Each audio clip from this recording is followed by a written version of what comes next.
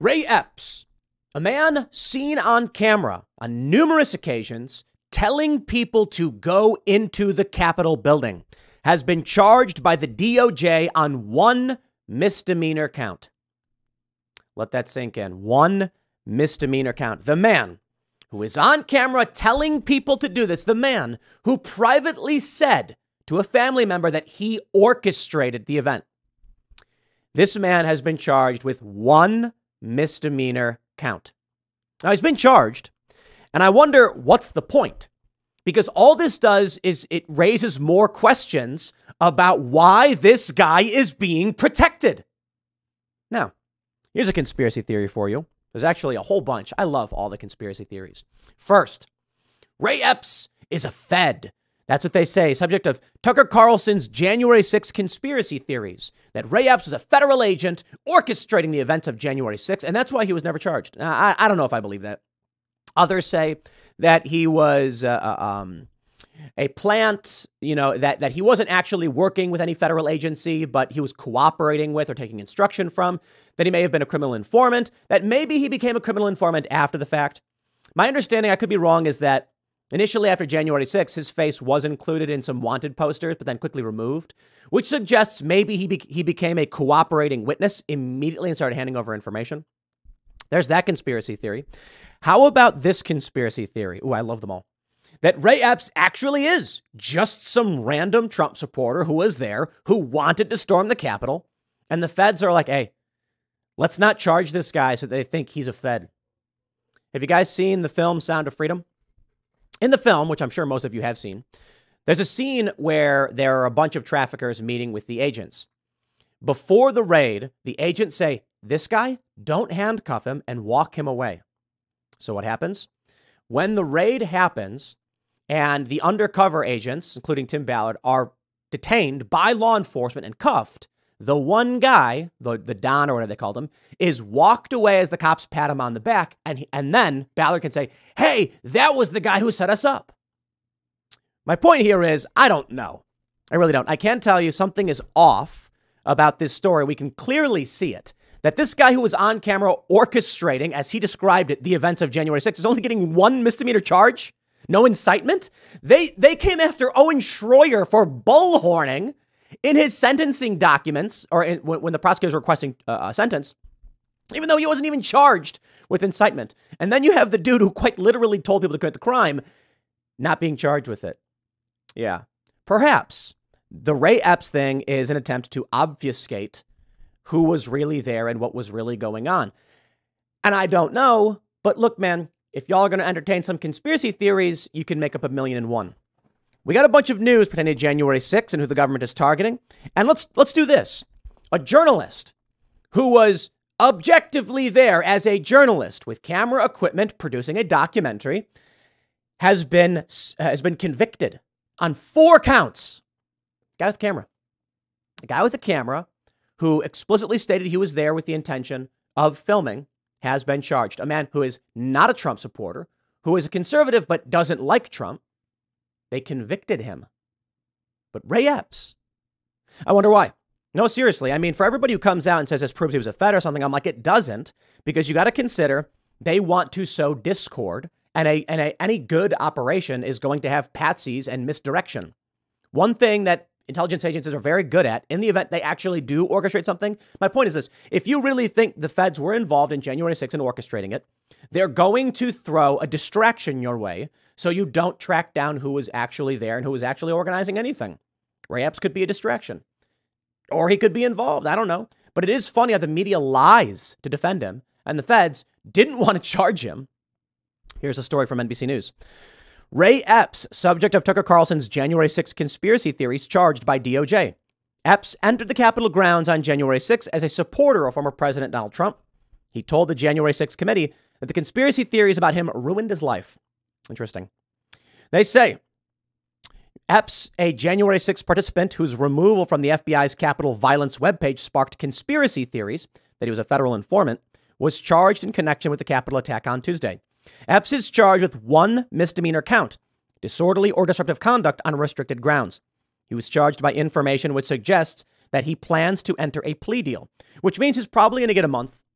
And I, I, seriously, there are a lot of people who uh, uh, were charged with trespass or being being on restricted uh, restricted grounds or disorderly conduct. They all took plea agreements and they got uh, uh, uh, a very short amount of time. There's currently a security guard who was sentenced to three years because he pleaded not guilty even though other people charged with similar things received only a couple months when they did plead guilty. This is called the jury tax or the trial tax, which I believe is unconstitutional, but we'll get into. In an interview with the January 6th committee last year, Epps said that he'd gone to Washington, D.C. in January supporter of former President Trump, but that the conspiracy theories that followed had torn his life apart. He said, I never intended to break the law. It's not in my DNA. I've never. I'm sure you've looked up my record. I don't break the law. Epps filed a defamation suit against Fox News host Tucker Carlson and former host Tucker Carlson for spreading the conspiracy theories, blah, blah, blah. That's like, it's really stupid. I don't see how that uh, uh, you win a defamation case like that. Because Tucker Carlson, of course, understands the law, but, you know, biased judges. Here are the documents from Court Listener United States District Court for the District of Columbia. United States versus James Ray Epps Sr., defendant. Information. The United States Attorney charges that on or about January 6, 2021, with, within the District of Columbia, James Ray Epps Sr. did knowingly and with intent to impede and disrupt the disorderly conduct of government business and official functions, engage in disorderly and disruptive conduct in and within such proximity to a restricted building and grounds. That is, any posted, cordoned off, and otherwise restricted area within the U.S. Capitol and its grounds, where the Vice President was and would be temporarily visiting. When and so that such conduct did, in fact, impede and disrupt the orderly conduct of government business and official functions and attempted and conspired to do so. Disorderly, con- disorderly or disruptive conduct in restricted building on grounds in violation of Title 18 United States Code, Section 1752A, Section 2, Matthew M. Graves. And there it is. Uh, I believe out of Tampa, it would seem. Now, I love this. NBC News says January 6 rioter who wielded police shield invokes Ray Epps' conspiracy theory at Proud Boys trial, arguing that he was a suspected government operative. What's funny here is they moved, prosecutors moved to strike that claim, and they did, which is weird. But whatever, I guess. This is what you need to be careful of. There are many people who did bad things. Stole police, don't steal a police shield. What are you doing? Come on. Smashing windows, fighting with cops? Nah, not okay. And now in court, invoking Ray Epps. There's one thing I think it is fair to say in reference to invoking Ray Epps, and that's the light charges and light sentencing, in which case you can say there is inequality under the law. That Ray Epps has been charged several two and a half years later with one count, despite the fact that he's on camera inciting people to commit this crime. And the and the government previously recommended recently Owen Schroyer, this is September 5th, they recommended Owen Schroyer go to jail for 120 days even though he was only charged with being on restricted grounds because of his speech before, during, and after. If that is the case, Ray Epps should also get a very lengthy prison sentence because while they argue that Owen Schroyer didn't tell people to go inside, his words resulted in them doing it.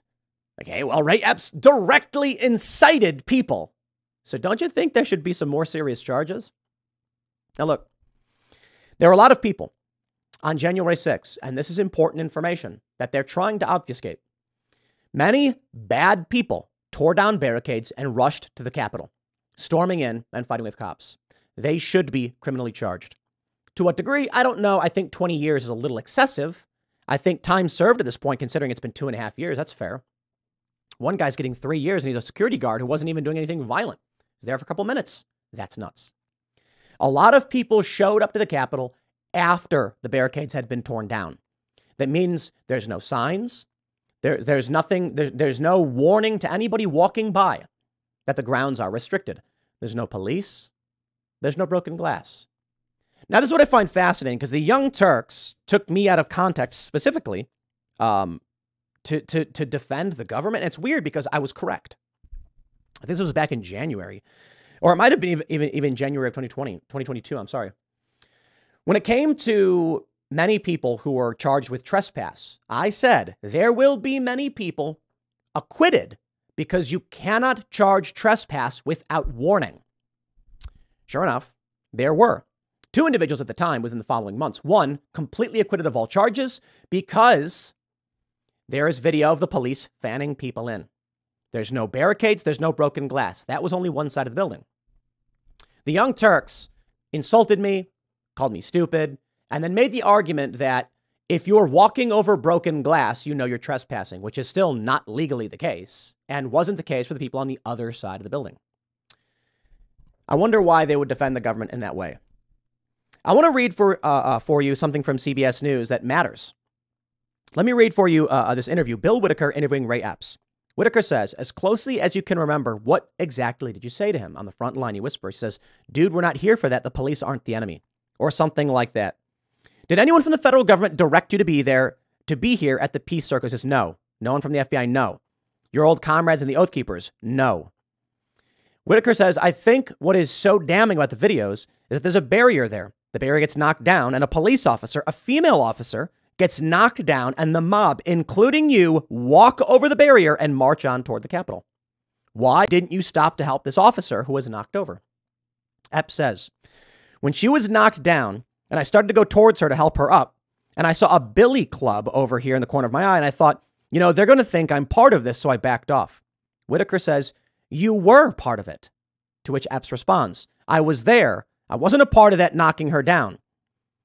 Robyn Epps says, and he wasn't part of the violence. That's a big difference. Is that you there? asks Whitaker.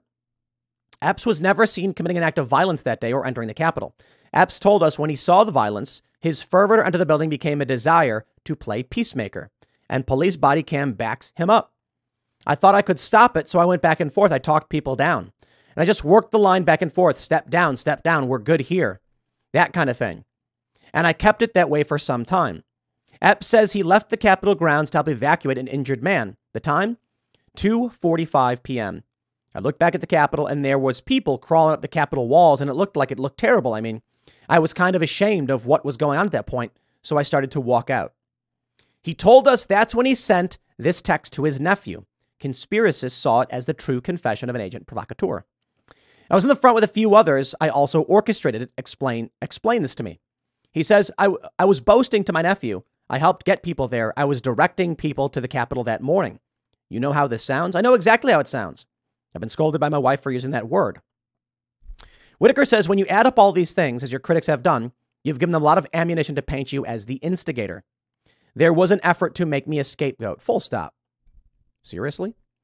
Tom Joscelyn says if Ray Epps is a covert plant, he is the worst covert plant of all time.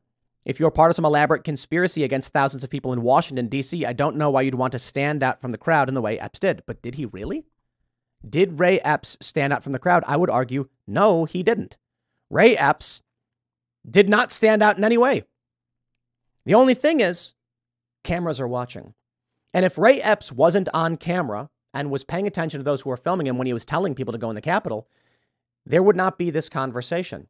He would not be charged, he would disappear, and no one would say anything. But the story is not being let go.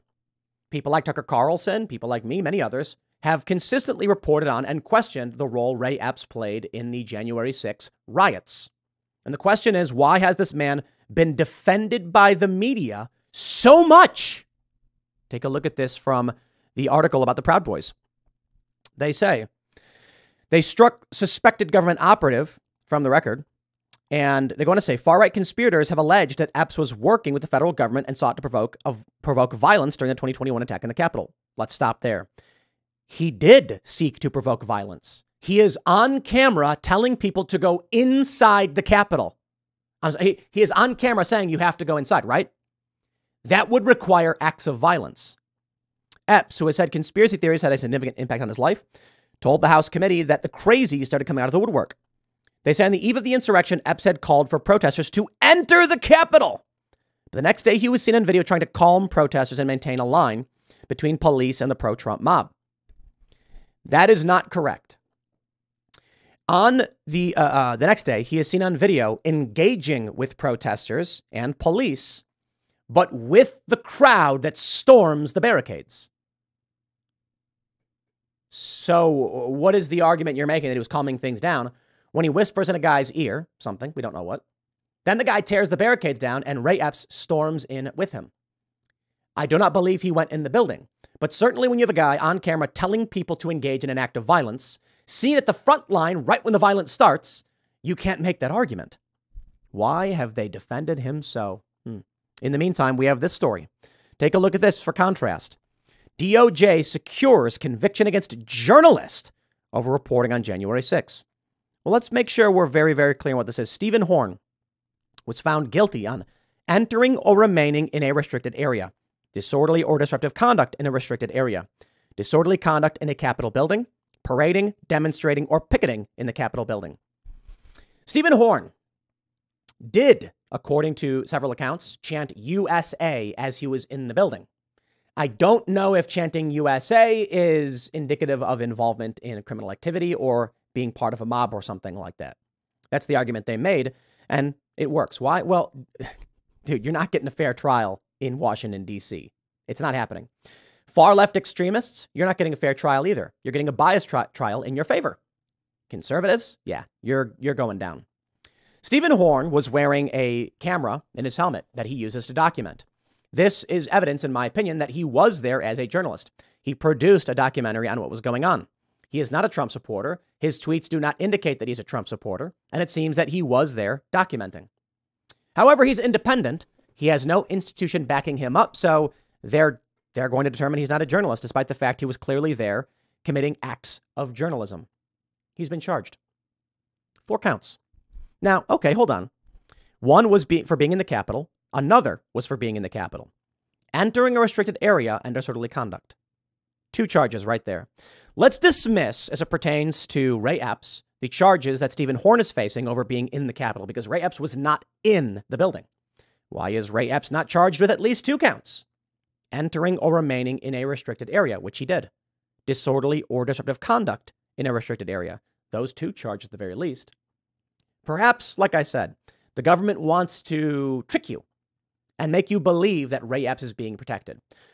I don't know, seems a bit convoluted. Maybe Ray Epps just turned informant. The moment they saw him, they said, You're a former Oath Keeper. You're going to give us information on the Oath Keepers. We'll take them down. We'll keep you out of jail. I think that's probably the, the real scenario here. They probably went to Ray Epps and said, We have you dead to rights, and you will go to prison for the rest of your life. And so Ray Epps then said, Whoops. They then said, as a former member, I think leader in the Oath Keepers, they probably came to him and said, Tell us everything you know, and we will ask you questions as we need. Cooperate with us, and we will keep you out of jail. That's probably what happened. His name is then removed from the wanted list. He then starts providing information on Oath Keepers. You may want, you may ask, how come they didn't offer these, give these offers to anyone else, Proud Boys or whatever? Well, they already had informants in the Proud Boys. I'm fairly certain, many of them, and they probably wanted specific information on the Oath Keepers going back quite some time. There were not as many people uh, uh, to choose. But look, it really comes down to this. He's the guy they got. I believe it is probable that he turned informant after the fact, and this is why he is protected. That's why we're seeing this weird media play. The media is protecting him because they march in lockstep with the machine. And the reason they're only charging him now with one count, likely because they have to. With the media pressure, they, they probably went to him and said, Look, man, people want to see charges, and we have no reasonable justification for why there won't be a charge. Here's what I think is likely to occur. They probably went to him and said, Look, we'll give you one charge, take the plea deal, and you'll get, you know, court supervision or something. We have to do it. That's how I imagine it, it played out. I don't know for sure. I don't think the guy was a Fed before. I think it's likely he was a Fed after. If he was a Fed before, they never would have put his face on the wanted posters. So what makes sense is the dude legitimately was trying to orchestrate something, legitimately stormed the barricades, and then went, crap, they got you, buddy. And then he just said, look, man, I don't. He, I, I, I think it's reasonable. He says like, yeah, this got out of hand. I'm sorry. Like, I will do whatever you say. Just let me know what you need, and we'll cooperate fully. And they, and he's got information on all the pro, on, on I'm sorry, on all the oath keepers, or enough information. Look what they did to um, Stewart Rhodes. They locked him up how much information provided by Ray Epps after the fact probably helped them in targeting and arresting Oath Keepers and bringing about more serious charges like seditious conspiracy. He provides testimony. They can then use it and say, ah, now we have evidence of seditious conspiracy. There have been several people who have made the claim that they were approached. In fact, uh, uh, uh, uh Enrique Tarrio of the Proud Boys said this. The prosecutors said like uh, effectively tried to pressure him to connect their actions with Donald Trump. Thus, they could say Trump orchestrated or something to that effect. Tarrio wasn't even there, and they give him two decades because that's the game that's being played. These people are abject evil. Abject evil in that you don't matter, your life doesn't matter, individually doesn't matter. They want you to be a cog in the machine or they will make you suffer. Enjoy your life, man. There's a pina colada down the street, your local shopping mall, a smile on your face. You've got everything you've ever wanted. Don't fight the violence monopoly. Just give in. So many people take the deal. Why not? The machine would crush you under its boot because you don't matter to them. Man, it's a scary thought. You are simply a taxpayer, a subscriber to their machine to fund their conquest. And here we are. Now, I'm not, the, I'm not the biggest fan of Gateway because they often put out information that is, you know, they take a morsel of truth and then they ex, they they they frame it or put it into context. I'm not a big fan of. We have the story. J6 prisoner John Strand, who was sentenced to prison 32 months for walking inside the Capitol, is now being tortured in isolation. Yes, John Strand, a hired security guard, was with Simone Gold. They were on the other side of the building, it's my understanding. They walked around. The, the event they were supposed to speak at was canceled. And then Simone Gold spoke, and then they left. Simone was given, I believe, a month or two. She pled, uh, pleaded guilty. John Strand refused, saying he was innocent. He was simply a security guard who didn't participate in any protest or anything, just keeping someone safe. And they said, doesn't matter. Because he did not plead guilty, they gave him three years, nearly three years. And now he's, a, he's allegedly, reportedly, in solitary confinement for speaking out. Three years for trespass? That's crazy, isn't it? But this is the trial tax or the jury tax, depending on who you ask, what it's phrased. And this means that the government seeks to punish you for wasting its time. When you plead guilty, you make the machine run smoothly. There's too many people, there's too many criminal trials, there's too many J6 defendants. If every J6 defendant pleaded not guilty, the system would be jammed up and busted for a long time. But maybe that's what they want long, protracted trials to bleed into the 2024 election. But this is it. John Strand and Simone Gold did literally the same thing. She gets a slap on the wrist a couple months. I shouldn't say that's a slap on the wrist. That's very serious considering what she did, which is almost nothing. And John Strand gets three years because he refused to bend the knee. This is the corruption of the modern judicial system. It has, it's how it operates. I believe it's unconstitutional and should be. I, I, John should sue for this. I don't think it should be allowed. And I don't know how you change this, but I believe, you know, maybe I has to go to the Supreme Court. Not that they'd agree. The government is not going to allow a system change that makes them do more work. And therein lies the problem. What is reasonable for what John and Simone Gold did? Entering restricted grounds. Um, petty, petty offense, a fine. Seriously. You walked around at the Capitol, you issue a fine, 350 bucks. It's like, okay, you weren't supposed to be there, leave. You left, okay. You got to pay a fine because you were trespassing. I think that's reasonable a fine. It's like you roll your eyes and it's like, okay, well, you know, we can we can compromise on that. I'd make the argument that there was no trespassing because nobody was warned and the police let them in the building, but sure, let's compromise and say a petty offense, fine. I wonder if John Strand can make the argument that his charge is excessive, solitary confinement is cruel and unusual because he's literally charged with trespass. It's crazy. I don't know his exact charges, but I believe it was uh, uh, it was it was trespass. It was similar to what John Strand, uh, uh, I'm sorry, what uh, Stephen Horn was charged with. Welcome to the modern machine, my friends, and it's not even 2024. Next year, they're going to ramp up more charges, more smears, more attacks, and the media machine will become, well, it is vicious, but it's going to get dark. You look at what's going on with Russell Brand, and there are a lot of questions. Many people are saying, Tim, you were right. They are going after media personalities. I didn't say it, Russell Brand.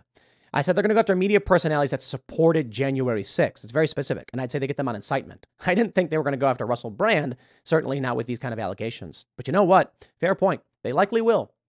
Alex Jones was taken down by every platform overnight. We know what their intentions are. You do not get a reasonable scenario where every major network and social media platform starts targeting an individual over 20 year old allegations. What's going on with Russell Brand is highly suspect, but guess what? Whether you believe it or not doesn't matter. Next year, it'll get way more fun. I'll leave it there. Next segment is coming up at 4 p.m. on this channel. Thanks for hanging out, and I'll see you all then.